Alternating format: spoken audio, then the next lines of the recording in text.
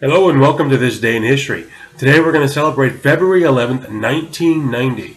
On this day in history, Nelson Mandela was released from Victor Verster prison in South Africa.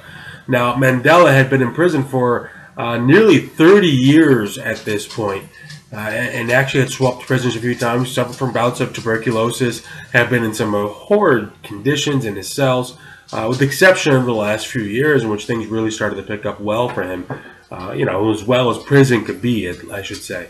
Uh, now, tides had really started changing in South Africa by now. Uh, the previous president had softened a little bit. The current president definitely felt that apartheid really couldn't be maintained, and political parties had stopped being outlawed.